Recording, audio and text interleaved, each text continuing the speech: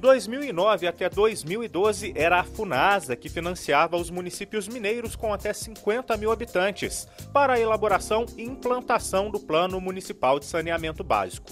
Cerca de 600 cidades receberam a verba, mas faltou planejamento, explica o analista técnico da FUNASA. No final de 2012, a gente viu que esse modelo já estava esgotado. Por quê? As prefeituras recebiam recurso, contratavam empresas para elaborar o plano, empresas com certa experiência na elaboração de planejamento, né, porque o plano é um planejamento, porém sem a inserção do município como ator principal na elaboração do plano. Foi pensando em alternativas para melhorar a qualidade que a Funasa entrou em ação. E junto ao CREA Minas, firmaram a parceria conhecida como Convênio CREA Minas Funasa, que, em vez de repassar recursos, passou a capacitar os municípios para a elaboração do Plano Municipal de Saneamento Básico. A capacitação, dividida em três módulos, aconteceu entre setembro de 2013 e fevereiro de 2014. Ela foi realizada em 10 regionais do CREA Minas e contou com a participação de cerca de 300 técnicos e gestores.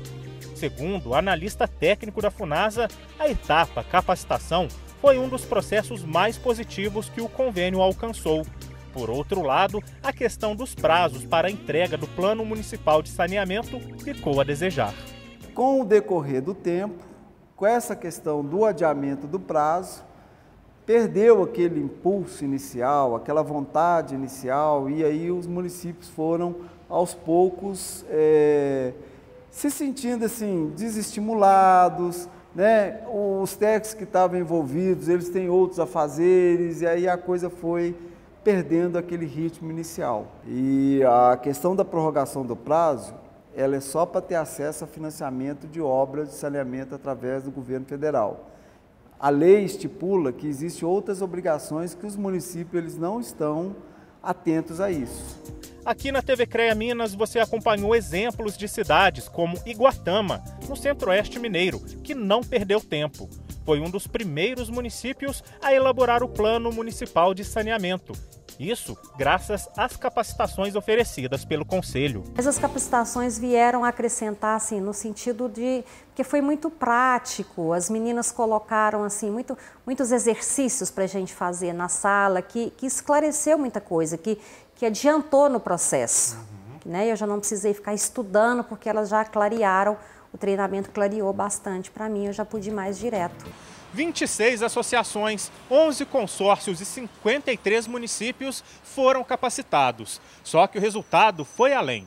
De acordo com o gestor do consórcio por parte do CREA Minas, direta e indiretamente, 460 cidades receberam orientações para a elaboração do Plano Municipal de Saneamento Básico.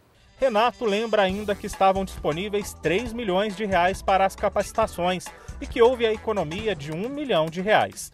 O balanço até agora é considerado positivo.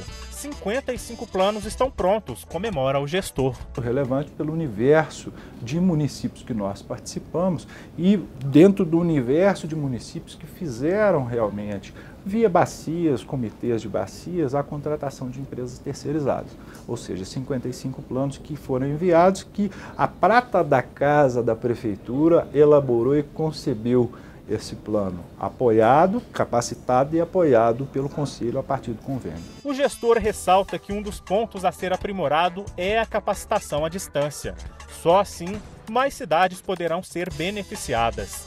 Para os municípios que ainda não entregaram o plano, ele orienta. O, o que a gente recomenda é sempre estar utilizando o nosso material didático, que foi amplamente distribuído para todos os participantes. O material didático também foi colocado no site do CREA, de estar tá utilizando como fonte de referência é, é, e estar tá conversando principalmente com as associações e consórcios intermunicipais, ou seja, está procurando, é, a partir do, da finalização do nosso convênio, essas associações e consórcios que serviram de multiplicadores, ou seja, o conhecimento ele foi difundido em todo o nosso estado.